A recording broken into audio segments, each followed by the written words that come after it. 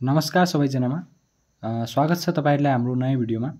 So आज चाहिँ हामी च्याप्टर टूको मेकानिक्स अफ स्ट्रक्चरको सिम्पल स्ट्रेस एन्ड स्ट्रेन भन्ने च्याप्टरबाट एउटा न्युमेरिकल लिएर आएका छौँ जुन चाहिँ धेरै पटक क्वेसन ब्याङ्कमा सोधिएको छ इक्जामहरूमा सोधिएको छ। र यो चाहिँ तपाईँले गर्न सक्नुभयो भने चाहिँ यो रिलेटेड अरू पनि सबै तपाईँले चाहिँ क्वेसन गर्न सक्नुहुन्छ। जुन चाहिँ मैले यो क्वेसन यहाँ लेखिदिएको छु। र क्वेसन चाहिँ पहिला बुझौँ। Two parallel wall six metre apart भनेको छ। सिक्स मिटर चाहिँ वालको लेन्थ दिएको छ। Are stayed together by steel rod भनेको छ। ट्वेन्टी फाइभ एमएम यो स्टिल रडको डायमिटर चाहिँ ट्वेन्टी फाइभ एमएम दिएको छ। Passing through metal plates and nuts are is in the nuts are tight in home when rod is at temperature of hundred degree Celsius hundred degree Celsius भनेको चाहिँ हाम्रो T one दिएको यो। पहिलो temperature दिएको। Determine the stress in rod हामीले चाहिँ stress निकाल्नु छ। हन्ड्रेड डिग्री सेन्टि सेन्टिग्रेडदेखि चाहिँ ट्वेन्टी डिग्री सेन्टिग्रेडसम्म चाहिँ फल्स डाउन भनेको छ। हन्ड्रेड डिग्री सेन्टिग्रेडदेखि ट्वेन्टी डिग्री सेन्टिग्रेडसम्म जति बेला चाहिँ टेम्परेचर फल हुन्छ र घट्छ त्यति बेलाको हामीले चाहिँ स्ट्रेस निकाल्नुपर्ने छ। र कन्डिसन दिएको छ दुईवटा। इफ यदि the end do not yield भनेको छ जति बेला यिनीहरू यिल्ड हुँदैनन् र end yield by one mm भनेको छ। जहाँ चाहिँ हामीले ई दिएको छ र अल्फा दिएको छ भ्याल्यु दिएको छ। र मैले चाहिँ यो फर्मुला लेखिदिएको छु। यो फर्मुला चाहिँ तपाईँले यसरी लेख्नु पर्दैन। फर्मुला चाहिँ डु नट इल्डको बेला चाहिँ यो फर्मुला लाग्छ र इल्ड बाई वान एमएम जति पनि भनेको छ इल्ड भएको छ भनेपछि यो फर्मुला लाग्छ। फर्स्ट अफ अल हामी गिभन लेखौँ। गिभन चाहिँ दिएकै कुरा लेन्थ हामीलाई दिएको थियो सिक्स मिटर सिक्स मिटर दिएको छ भनेपछि अब यो पनि एमएममा छ। अ, यो पनि एमएममा छ यो पनि एमएममा छ सबै एमएममा छ भनेपछि हामी यसलाई पनि एमएममा चेन्ज गरिदियो भनेपछि सिक्स इन्टु वान थाउजन्ड गऱ्यो भनेपछि चाहिँ सिक्स थाउजन्ड एमएम हुन्छ। त्यस्तै डायमिटर अफ रड डी दिएको थियो जुन चाहिँ ट्वेन्टी फाइभ एमएम छ। र हामीलाई टी वान दिएको थियो। टी वान टेम्परेचर पहिलोको पहिलो टेम्परेचर हन्ड्रेड अनि टी टू चाहिँ ट्वेन्टी दिएको थियो। T one hundred degree centigrade अनि T two is equal to twenty degree centigrade भनौँ। अब टेम्परेचर चेन्ज भएको का भएको चाहिँ के गर्ने भनेपछि डेल्टा डेल्टा टी निकाल्नु पऱ्यो भनेपछि चाहिँ hundred degree centigrade minus twenty degree centigrade गर्दाखेरि चाहिँ हाम्रो आउँछ एट्टी डिग्री सेन्टिग्रेड चाहिँ हाम्रो टेम्परेचर टेन डेल्टा टी चाहिँ एट्टी डिग्री सेन्टिग्रेड आयो। अब त्यस्तो हामीले यो कन्डिसन चाहिँ दिएकै छ। यो कन्डिसन दिएको बेला चाहिँ हामीले के गर्ने भनेपछि ईको भ्याल्यु पनि दिएकै थियो हामीलाई। ईको भ्याल्यु कति छ भनेपछि two into ten to the power six newton per mm square यो पनि एमएममा नै छ। र अल्फाको भ्याल्यु पनि त्यस्तै twelve into ten to the power minus six per degree centigrade यत्तिकै दिएको छ। यत्तिकै भएपछि चाहिँ अब हामीले डाइरेक्टली यो फर्मुलाबाट चाहिँ निकाल्न सक्छौँ र यसको फोर्स पनि करेक्ट गर्नुपर्ने हुन्छ। र त्यो चाहिँ अब तपाईँहरू हेर्दै जानुहोस् र हामीलाई यहाँनिर लेखौँ विनो द्याट विनो द्याट अब जति बेला चाहिँ when when to in do not yield अब जति बेला चाहिँ दुई इन्ड डु नट इल्ड भनेको चाहिँ यति बेला चाहिँ हाम्रो यो फर्मुला लाग्ने गर्छ। जुन चाहिँ छ the sigma T is equal to delta T into alpha into E भनेर। यसको भ्याल्यु चाहिँ हामीले सिम्पली भ्याल्यु चाहिँ पुट गरिदिउँ। डेल्टा टी भनेको चाहिँ हाम्रो एट्टी डिग्री सेन्टिग्रेड आएको थियो। एट्टी डिग्री सरी डिग्री नलेखौँ एट्टी इन्टु अल्फाको भ्याल्यु चाहिँ यो twelve into ten to power minus six छ।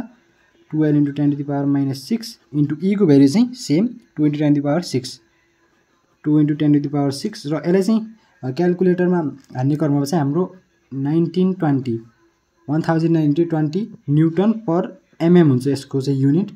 यहाँ आउँछ। र यस्तै यो फेरि चाहिँ हामीले एन्ड फोर्स यसको फोर्स निकाल्ने बेला चाहिँ हामीलाई थाहा छ फोर्सको फर्मुला के हो? सिग्मा टी इन्टु एरिया हुन्छ। सिग्मा टी इन्टु एरिया हुन्छ भनेपछि हामीलाई के भनेको थियो? प्याराल वाल सिग्मिटर अपार्ट यो पासिङ थ्रु यो यो रडको चाहिँ स्टे स्टिल रड भनेको थियो। रड भनेको चाहिँ हाम्रो को- के रहेछ भनेपछि रडको चाहिँ हाम्रो एरिया एरिया चाहिँ के हुन्छ भनेपछि चाहिँ अ, यो सिग्मा टी भनेको यहाँ दिएकै भ्याल्यु छ।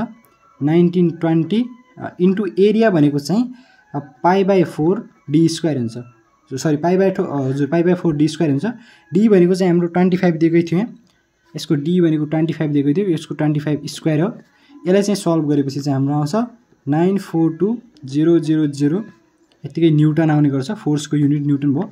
यो चाहिँ एउटा यो यो यसको लागि चाहिँ हामीले गरिसक्यौँ र यसको लागि गर्नुको लागि चाहिँ यो चाहिँ वान भयो। यो चाहिँ टूको लागि गर्नुको लागि चाहिँ when to end yield to end yield by one mm यो यसको लागि पनि यो फर्मुला हामीले लेखिसकेका छौँ पहिला नै। यसको लागि चाहिँ sigma T is equal to L into alpha into delta T minus rho into E by L. यो चाहिँ हाम्रो फर्मुला रहेको छ। र यो फर्मुलामा राख्ने क्रममा चाहिँ हाम्रो सिक्स भनेको सिक्स थाउजन्ड थियो एल भनेको सिक्स थाउजन्ड थियो। र अल्फाको value twelve into ten to the power minus six छ। र टीको भ्याल्यु चाहिँ हाम्रो एट एट्टी आएको थियो। टेम्परेचर चेन्ज चाहिँ हाम्रो एट्टी थियो। माइनस यसको भ्याल्यु चाहिँ यसको भ्याल्यु भनेको चाहिँ कति यो कति कति भनेको छ त यो कतिले इल्ड भएको छ भने चाहिँ वान एमएम भनेको छ भने यसको भ्याल्यु चाहिँ वान होला यहाँनिर। जतिकै यसको भ्याल्यु भनेको चाहिँ यहाँनिर दिएकै हुन्छ। इन्टु ई भनेको भ्याल्यु पनि हामीलाई यहाँनिर छ। Two into ten to the power minus six two into ten to the power minus six sorry two into ten to the power six छ। अपन एल भनेको चाहिँ फेरि त्यही सिक्स थाउजन्ड एल छ। अब यो सबलाई यो हामीले सल्भ गर्ने क्रममा चाहिँ यो सबै गरिसकेका छौँ। जुन चाहिँ fifteen eighty six point six six newton per mm square आउँछ। सो यसको पनि हामीले एन्ड फोर्स निकाल्ने बेला चाहिँ फोर्स निकाल्ने बेला चाहिँ हामीले सिग्मा टी इन्टु ए गर्नुपर्ने हुन्छ। र सिग्मा टी चाहिँ हाम्रो आइसकेको छ। Eight six point six six आइसकेको छ। इन्टु यसको लागि चाहिँ हामीले सेम त्यस्तै फाइभ बाई फोर ट्वेन्टी फाइभको स्क्वायर हुन्छ। जुन चाहिँ हामीले सल्भ गर्ने क्रममा चाहिँ seven seven eight four five five point zero six newton आउने गर्छ। यत्तिकै गर्नु भनेको चाहिँ तपाईँले पुरै सल्भ पुरै न्युमेरिकल सल्भ गरिसक्नुभयो। तपाईँले आशा गर्छु कि बुझिसक्नु भयो होला। बुझिसक्नु भएन भने पनि मैले सरसरी तपाईँलाई बताउनु गरेको छु। यो चाहिँ हाम्रो गिभन कुरा नै थियो। यसलाई मात्र हामीले चेन्ज गरेका थियौँ। र यस्तो कन्डिसनमा चाहिँ हाम्रो फर्मुला हुन्छ sigma T is delta T into alpha into E हुन्छ जो चाहिँ हामीले भ्याल्यु पुट गरेर सिधै निकाल्यौँ र फोर्सको फर्मुला चाहिँ सिग्मा टी इन्टु ए हुन्छ यहाँ पनि भ्याल्यु पुट गरेर सिधै निकाल्यौँ। अब ए किन भनेपछि रड भनेको चाहिँ हाम्रो यो रड हामीलाई थाहा छ यसको चाहिँ एरिया भनेको चाहिँ pi by four D square हुन्छ। पाइ बाई फोर डी स्क्वायर हुन्छ। जुन चाहिँ डी हाम्रो ट्वेन्टी फाइभ छँदै थियो र यस यसै चाहिँ हामीले निकाल्दा यति आयो। यो चाहिँ एउटाको भयो। अर्कोको निकाल्ने बेला चाहिँ हाम्रो यो फर्मुला हुन्छ। यसको चाहिँ फर्मुला यही थियो।